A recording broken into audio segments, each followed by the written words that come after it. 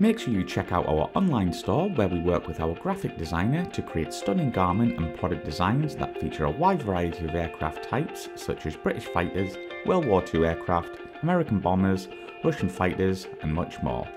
You can pick your favourite designs and personalise any items within our Redbubble store that range from clothing right the way through to stationery. All of our designs feature our logo so you can show your support for the channel while getting a quality product.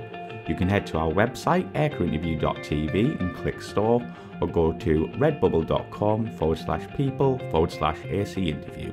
Thank you and enjoy.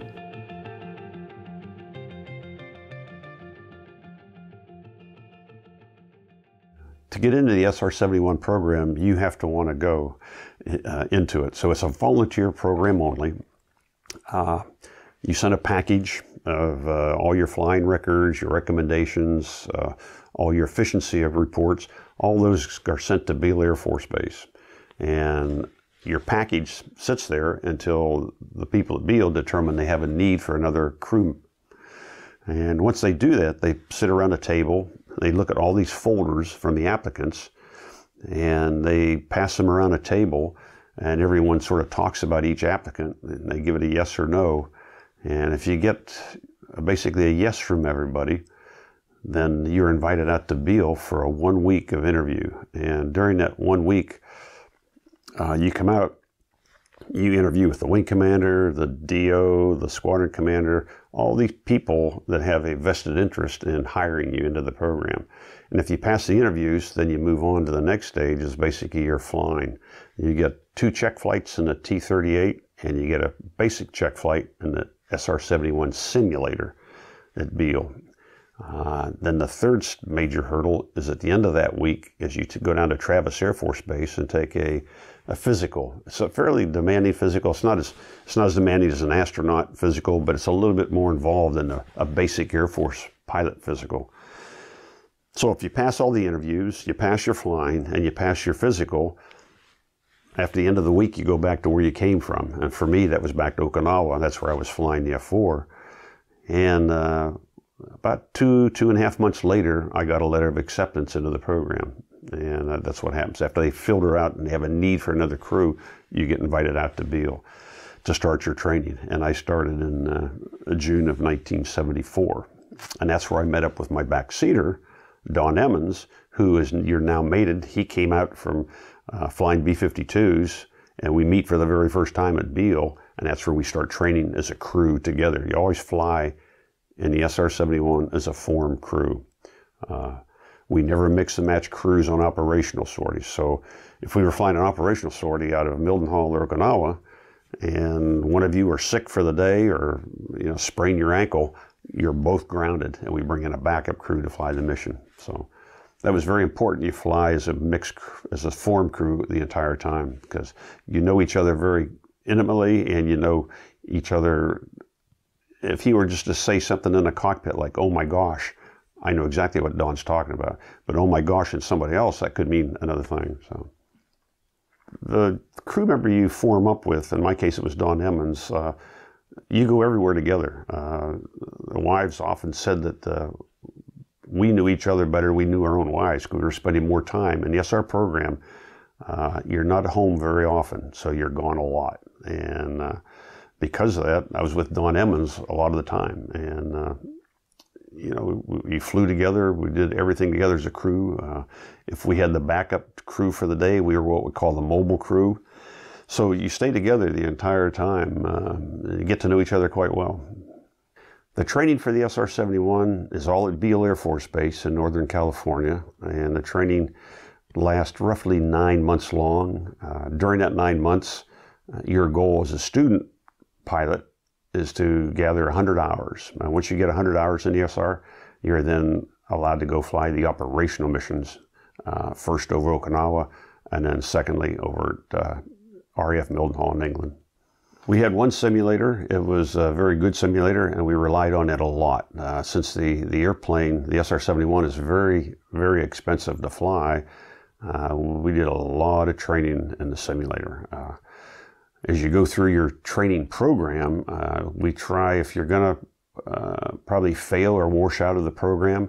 Uh, we tried to do it in the simulator before the crew member got to the actual airplane, obviously for a cost reduction. But uh, the simulator was very, very uh, dynamic. It it was a program where we learned things and practiced things that you just can't do in the airplane, you know, like engine out procedures or getting automatic unstarts and restarts. These things were practiced day in and day out in the simulator before you got into the airplane. Yeah, after you do all your 12 simulator missions, that's when you put your first footstep in the airplane. And I was very uh, uh, lucky I passed all the, the, simulator missions. And on the 12th, on the the first time I put my foot in the airplane and they close the canopy down, you feel a lot better because now all of a sudden, with all the simulator training behind you, you had no windows to look out of. Well, now I got a window, so it was very, very uh, comforting to get in the airplane and fly it for the first time uh, with the instructor in the back seat of the trainer model. Uh, you're so well trained that you feel right at home for your very first mission. There's no, there's nothing new coming up other than the fact you can now see outside. That was probably the strangest feeling of being able to see outside.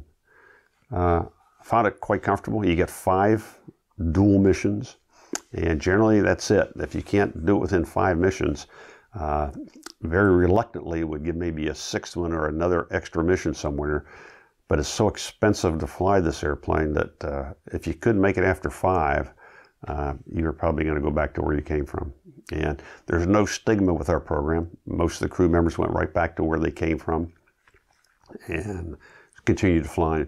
Uh, in the Air Force, uh, if you don't pass a school, a formal Air Force school, like getting into F4s or getting into F15s or F16s, if you don't pass that school, then you meet probably what's going to be called a FEB, a Flying Evaluation Board.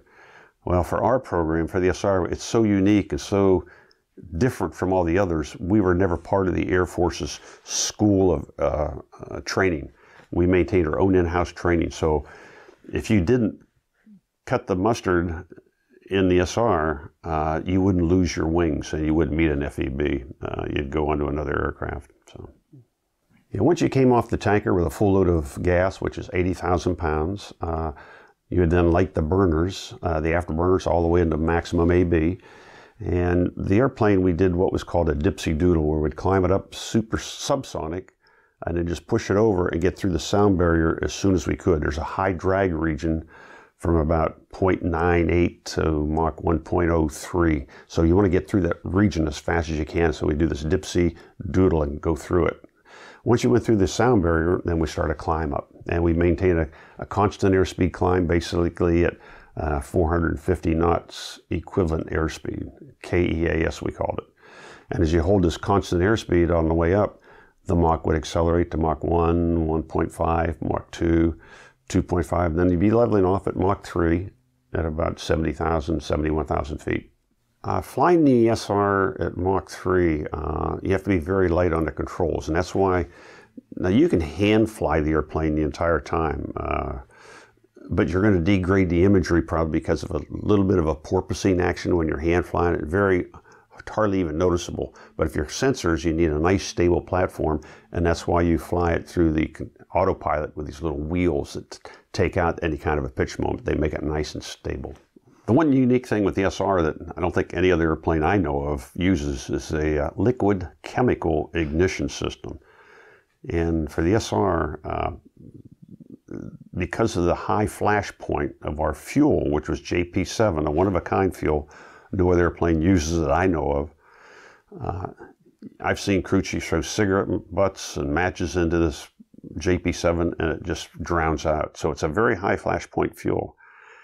Well, to ignite this high flash, high flash point fuel, Kelly Johnson and his band of engineers had to come up with a unique way of igniting it. And it was with a liquid chemical called triethylborane, TEB that's why we called it TEB for short. So this triethylborane is a liquid chemical that if I had it in a squirt gun right here and I squirt it into this room, it explodes on contact with the atmosphere.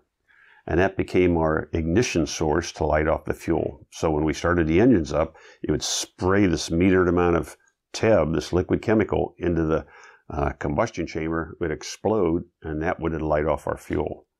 When we put the throttles up into afterburner, the same thing happened back there. This meter amount of TEB would be sprayed into the fuel, go kaboom, and that in turn would light off the afterburner.